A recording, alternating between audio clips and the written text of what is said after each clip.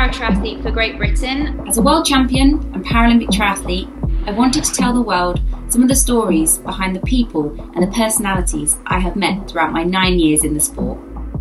With the Paralympic Games around the corner, now seems the perfect time to get to know some of the para triathletes who will be going for gold in Tokyo. Today, I'll be going beyond with Canada's Jessica Tuomela. Canada's Jess Tuomela made a splash on her arrival into paratriathlon back in 2016 with a silver medal at the National Championships in the visually impaired category. Her first WPS and World Cup wins came in 2018 following a duathlon world title in 2017. After victory in Tokyo at the Paralympic Test Event World Cup and the World Championship bronze, Jess is now looking for a big return to Japan for the main event in August you lost your eyesight age three to retinal cancer, and obviously yeah. exceptionally young. Um, how was life as a youngster, and then getting into sport from that? Um, so I think when I was a kid, I don't really think I knew any different. So um, when you're younger, it, it was kind of when okay let me try again um, so as you said, I lost my sight when I was about three, three and a half.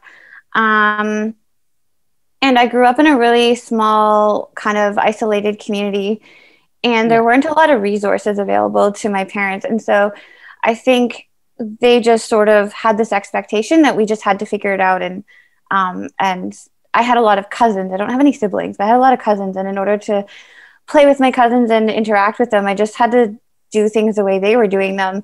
Um, and there was some adaptation and at the time obviously we didn't know that's what it was called but it was and most of the time the adaptation was just i was holding on to somebody so i could go with them too.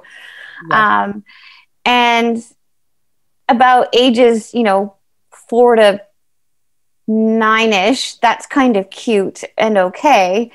And then when you hit about you know grade five or 10 years old um, i think kids start developing their own individual identities and uh, it's not as cute to be like hanging on to each other. So i think sort of grade four grade five is when i started realizing i'm like oh i, I am different.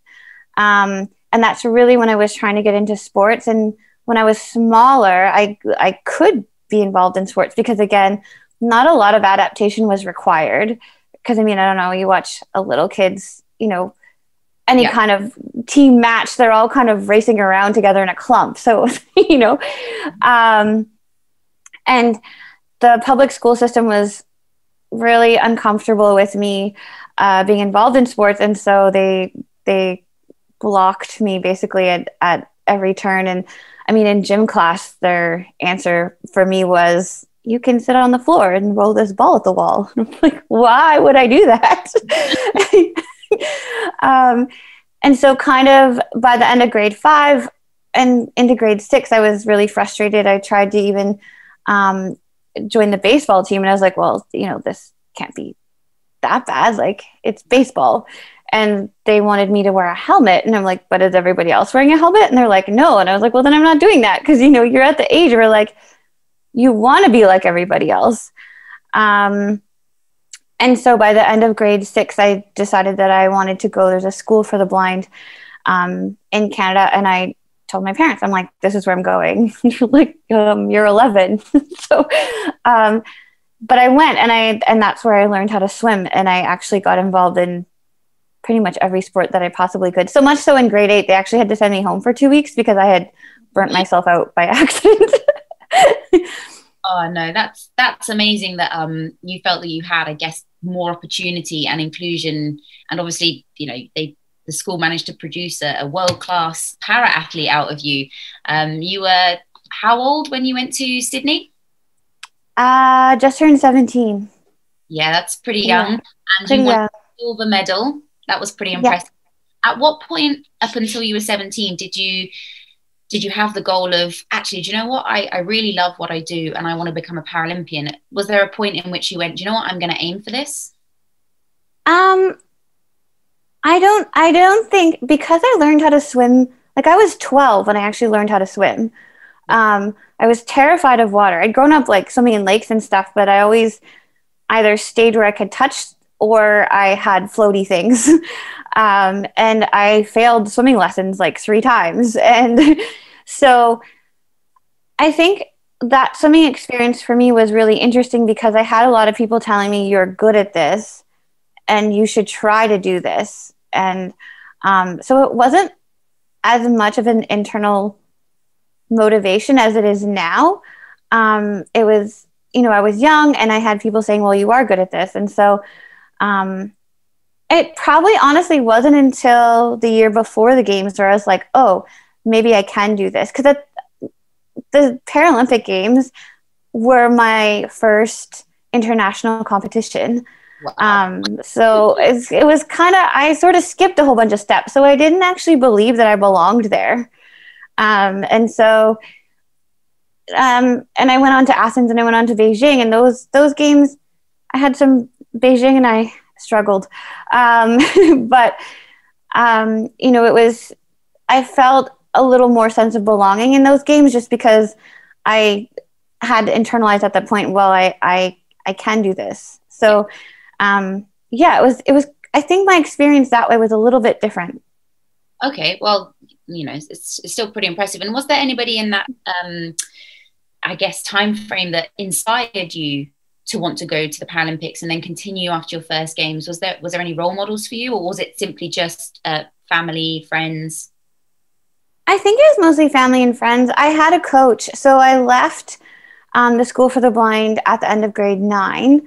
Um, and I went back into mainstream high school because I wanted to go to university and um, the school for the blind is tiny and so i was i was like i'm going to have culture shock if i don't get into a bigger um, yeah. mainstream system so um, the coach that i had while i was in high school he he was just and he still is he's just one of those people that will do anything for his athletes you know bends over backwards uh, he knew how to push me he knew how to you know get me to where i needed to be and um, yeah i I just really respect him and, and really appreciate the time and effort that he put in. And after I went off to university, you know, we stayed in touch and I swam with him when I came home in the summers. And um, yeah, he was, he was a, dri- a big driving force for me.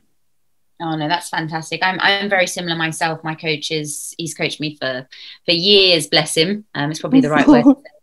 Um, but yeah, somebody that knows you and knows how you tick it's a it's a really important thing i believe the coach athlete relationship um, yeah and then obviously you decided after two more games within swimming where you still placed very highly and at some world championships and the pan american games you medaled like fantastic what point did you think oh i don't want to do just one sport i want to go and do okay. three i found this on the web um I well, I I actually retired after Beijing, um, and was like, okay, I'm done. Like I'm just done. I'm going to not do this athlete thing anymore, and I'm going to go out into the world and get a quote unquote real job. And um, so I tried that, and obviously it didn't work because I'm back.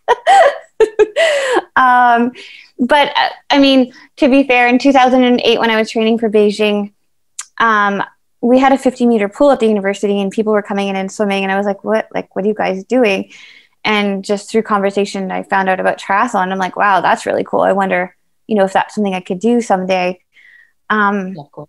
and and it kind of planted the seed. It never went away. And so probably 2014 2015 i was like okay if i'm going to do this i should probably start trying. Um, and and I mean, I don't know if you're the same, but my thing was like, I got to learn how to run. so yeah. I bought a treadmill. yeah, definitely. Painful on your shins and your calves. Uh huh. and how did you? Obviously, you, you did your first WPS in Edmonton. Um, what was it like to obviously your first one to compete on a ho- home games must have felt amazing. Um, how, was that for you? Your first triathlon, what were the thoughts that went through your head? I, I can remember mine, and they weren't positive thoughts because it was very painful. I, I, don't know how yours was. Uh, no, I'm similar to you. So my first triathlon was uh, March 2017 Yep. in Florida. Okay. Um, and it was hot. And at that time, I apparently didn't know how to sweat. And um, I was miserable. And um, I walked on the 5K. I couldn't even run the whole thing. And I just kept thinking, why am I doing this? I've already done this. I don't need to do this again. and like, I was like, this can't be healthy. Like, like you said, it was all not good thoughts. And then I don't know why, but I just I kept going. and then again. Yeah. no, I definitely felt the same. And the one thing that I'm I'm quite curious to, to know is obviously swimming is quite an individual sport. Uh, you you really just um, you are in control of your race and I guess your own mental thoughts. You've come into para triathlon and you now have a guide. How how was that transition having to learn to work with somebody else? Harder than people think. Okay. um, it was uh, like you said, swimming is very individual. You're very much you are responsible for your own wins and losses and successes and failures. Yeah. Um, and coming into triathlon and having to work with a guide, it it is a team sport for the visually impaired classification. Um, we have to work together. We probably should like each other because you're tied together a lot. so, um, you know, and um, it's it's not easy. It's learning how to communicate so that it works for both of you, um, knowing how to motivate both of you at the same time, um, and just actually being willing to be that vulnerable in front of somebody else. Like you are so, I and you know this, you're so far into the hurt locker that like when you're by yourself, it's I don't know. For me, I felt safer going there um, when I was when I was swimming. Like I mean, especially in swimming, your face is down in the water. Nobody really gets to see your pain face as much. Yeah. Um, but you know, on on the run, um, one thing that I I struggled with, and I still struggle with, is sometimes I'm like, I'm not a good runner.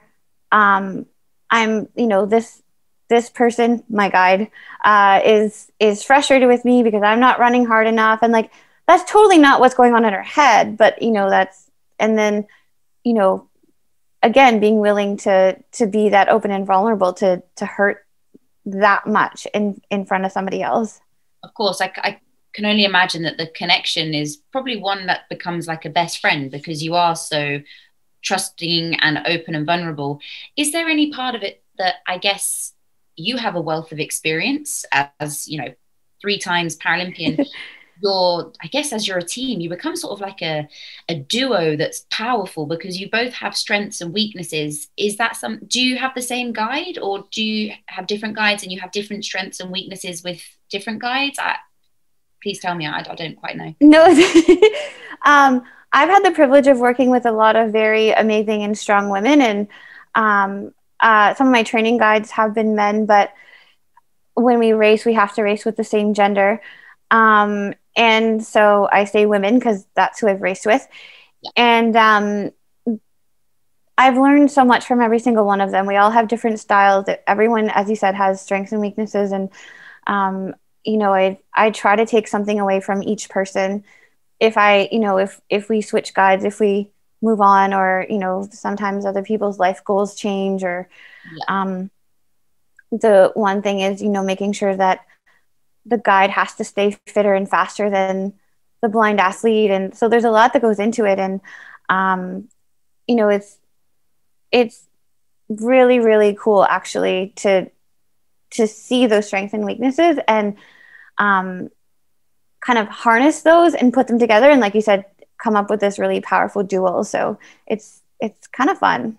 Yeah I, I can only imagine like what it feels like to cross the line and know that as that as a pair you've you've managed to achieve like a, a medal or a podium that must yeah yes. be experience to share with someone else. Yeah for me like uh, some for me that's probably the most powerful moment. Like ev- every single time when we cross the line i have felt nothing but gratitude towards this person.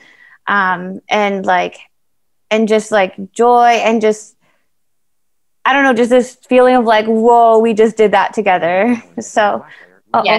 Did my video just go away no no you're still here okay good all right a window popped up so i wasn't sure if it um Oh, no, it's great and I, I I had a question uh, a while back, which was, do the guys receive medals as well as the, you know, the disabled? They do. So that that's fairly new, I think, and I think it's something that actually athletics um, fought for, um, because our guides train as hard as we do. They um, show up to practices. You know, they work with us. They work on their own, and then they race with us. And so in my opinion, they they should get medals. Um, and like I said, it's a, we're we're a team. It's not me with someone who happens to be propelling me along, like you know, giving me directions. They don't propel, obviously, but um, you know, and, and so yeah, they do get medals, and that's really yeah. No, I really think nice. Um, that's beautiful. Like you said, it's it's about teamwork, and um, I'm sure that there's lots of people that'd be quite interested um, how you adapt and change any of your training and racing to being completely blind. I mean, I know what it's like to go around a triathlon missing my lower right arm, but I couldn't imagine what it's like to go around. You have blackout goggles, I believe, and mm-hmm. you have like you're on the bike, and I guess someone tells you if you need to push harder or changing gears. But how does it work for you? Could you talk us a bit about any adaptations that you might have? Yeah, so we have to wear blackout goggles. Um, okay, so the completely blind uh, triathletes have to wear blackout goggles. And I think, as I understand it, it's to make sure that you actually are, in fact, completely blind um, because we get a, um, a time advantage because we're racing other athletes who have um, some usable vision, um, which actually does um, it's it's just the nature of it. It just changes it, right? Um, so they we wear the blackout goggles during the race to make sure that we all can't actually see um, and then in the water we wear um, mine is just a piece of shot cord with two loops on the end and one end goes around my thigh and then the other end goes around my guide's thigh. And to be honest i actually think the swim is the hardest because there's no talking at all. Um, because if we're talking, we're not going fast enough. so um, it's learning to like feel your guide's body without actually swimming on top of them, and yep. which becomes tricky if it's wavy or you know there's there's if there's turns. We've worked out. Um, you know, a right turn hit me twice, a left turn hit me once, like that kind of stuff. So you kind of work that stuff out ahead of time. Um, and then on the bike, we're on a tandem bike, which is so much fun. Um, it's really cool because, like, you, when you're in sync on a tandem, you just flow. Like, there's just such a, to me, a feeling of grace and power, and yeah. uh, it's a pretty cool feeling. Um, and then on the run, we carry, I use a hand tether. Some people choose to wear a tether around their waist because it gives them um, a better arm swing, but because running is not my happy place, um, holding onto the hand tether is um, feels more secure to me. So it's basically just a piece of um, climbing rope, again with little tinier loops at the end, and the loop goes over my thumb, and then the other loop goes over my guide's thumb, and then we run basically arm to arm, like side by side, but we try not to touch each other because obviously that sort of slows down your momentum. Um, and then the biggest thing is guides are not to be towing the ath- the blind athletes at any point. So on the swim, um, we have to be within a certain distance of each other, and on the run, they can't be ahead of us. And when we cross the finish line, they can't be ahead of us either. Okay, and as you're like going around the run course, and when you're on the bike, like does your mm-hmm. guide tell you when they're going to brake, when they're going to change gear, or when you need to go around a corner when you're running? Is it quite specific instructions?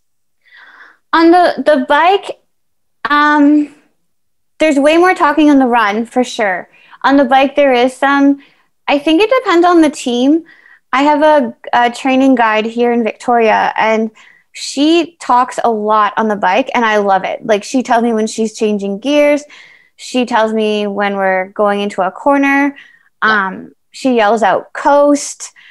Um, and so that is super helpful because there's, there's not wasted energy. And then you're also able to shift your body weight the way you need to. And um, there's been times where she's like, she'll say uh, left hand turn, so I'll you know put my knee out and and drop down or whatever, and and she's like. I didn't even have to steer. She's like, just your body weight made the bike go. And I'm like, I don't know. so, um, and then on the run, there's definitely more instruction just because there's, on the bike, you're kind of one unit, whereas on the run, you're back to being two. And so it's easier for me to trip over things or, um, I, on world championships, I fell off the curb and landed on my butt. You know, it's because it was just so narrow. Yeah. Um, so it's you know it's there's a way more talking needed um, on for me anyway on the run. Yeah, of course. Well, yeah, I just think it's absolutely amazing. Um, again, it comes back to what you said before about having trust, and I guess, like you said, you're one unit, you're, you're committed. So no, I think that's awesome. And I was doing a little bit of um, other reading, and obviously challenge of training during lockdown um, you've i read a blog that you put out that was you know you're at home you're on your own and i was quite impressed that you learned how to change a tire am i right yeah i did I was I'm not sure that I could actually do that. So I don't know if I could do it again, but I was like, I need to do my ride. And so that's amazing. Yeah. No, I was. I can clean impressive. a bike. I'm good at cleaning a bike. I yeah. I'm sure in a pinch I would be able to change the tire again. uh, yeah, I think you can get there. And I also read that you've had a little bit more time and you've done a bit of baking. Yeah, so um, I used to hate cooking. Okay. I found it incredibly stressful. Um, just because I think I probably have that athlete mentality where it's like if it didn't come out the way it was supposed to, then I'm like, I didn't do this right, and I, you know, you like, you know, when you go into a workout and you're like, I didn't hit those times. What's wrong with me? you know, and so, um, so I had to have a bit of a attitude change and um, and be willing to make mistakes. And I made a rule that if it turns out really bad, then I'm allowed to order pizza. And uh, so, yeah. and so I actually really enjoy cooking now. Um, baking mm, still not as much it's more fun and if it doesn't turn out oh well but um, I, I, I would prefer cooking i think has there been anything else that you've sort of taken up during lockdown that you probably wouldn't have done otherwise um,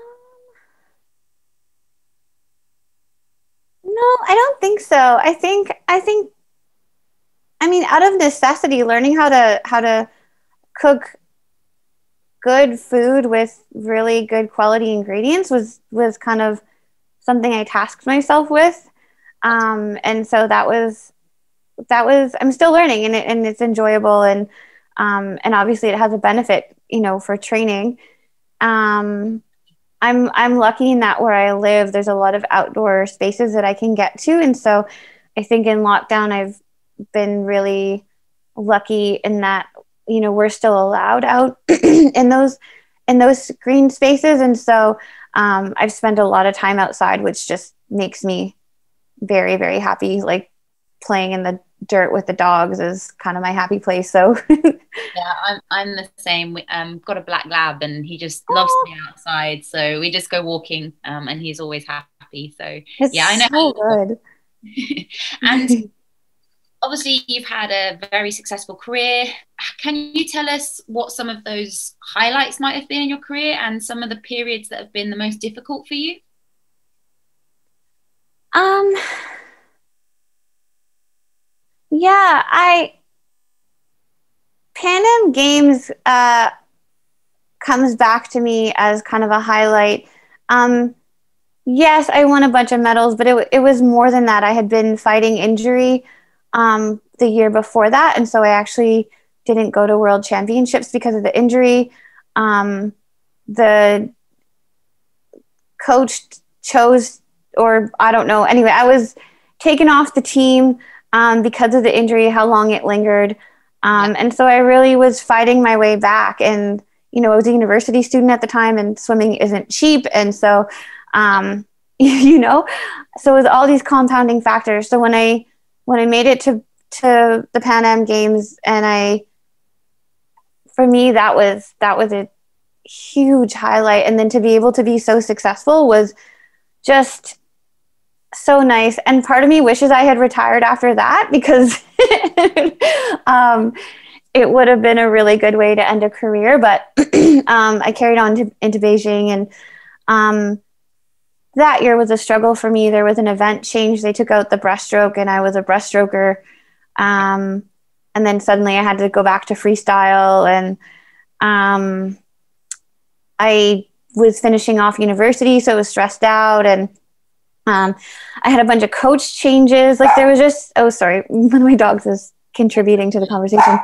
Um, there was, um, you know, there was just a lot that went on, and we got we got to the staging in Japan, and I was like, I don't feel right. And they're like, Well, you're tapering. You're not supposed to feel right. I'm like, No, I've tapered before. This doesn't feel right. Yeah. Um, and we got to the games, and things just sort of went sideways. So, um, you know, but and and I I've I mean I've said in other interviews before that like I left the sport very angry. Um, and that's not a good way to leave a sport. So I think that might have been well it was it was part of my motivation to come back and try again is that um I I don't want to leave angry. and I think that the world of uh, para triathlon has been um, graciously accepting of you and you've been absolutely amazing. Um, i've seen that kind of over your world championships that you've done rotterdam i think you came sixth and then yeah. I want then you've come fourth in gold coast third in lausanne. So i think then you also won the tokyo event. So i mean yeah, i don't really 20- know how that happens but it, you must be excited for this year. And um, do you have any plans for the World Championships or I guess Tokyo 2021? Um, I mean, like we're, I'm, you know, like everybody else, I'm training as though everything's going to go on, and um, I'm yeah. excited to race. I haven't raced at all since World Championships in in uh, Switzerland, so um, you know, it'll. I'm just excited to race. Like, and I, I don't know what'll happen. You know, a lot can happen in a year and a half or however long it's been by the time we actually get to race. So, um, I, I don't I don't know that I have plans because every time I make a plan it changes. so my plan is to race. well, I think that um, you're going to be pretty awesome, and I definitely think that you're one of the hopefuls to to look out for. So yeah, well, well done you, and thank you for Aww. coming on here. Um, chatting to me. It's been amazing. Is there anything else that you'd like to chat about? No, I don't think so. You, uh, thank you. Your your interviewing skills are great. thank you very much. I've I've been coming on each week. Like I've got to I don't know interview different people, and your surname certainly tripped me up this week. But it's um hey, that's okay. Don't worry. thank you. This was awesome, and thanks for um you know putting us out there and and. uh you know, paratriathlon is such a cool sport. I actually think if people understood it, they would want to watch it. Um, my my um, my grandma's ninety, and she's originally from Portugal, and so her English isn't fantastic. And um, my mom went over and put the Tokyo Test event on the television for my grandma to, to be able to see, and like she was just so enthralled and amazed at like watching everyone you know doing what they're uh-huh. doing and and you know so like i i i think it it would catch on if people actually knew what was going on and it's pretty exciting I think so. I just think that sometimes when you see some of the disabilities and what people overcome to be able to do the sport, it inspires me as a Paralympian myself. Like I, yeah. you know, I, I train with a disability daily, but to watch other people some some people just going the speeds. I mean, even just the speeds that you get on the tandem, and some people or the hand cycles. People on the hand cycles just blow me away. I know some of the watts that they put out with their arms. Like I'm like I've yeah. got two legs, I can't do that. So yeah, pretty amazing.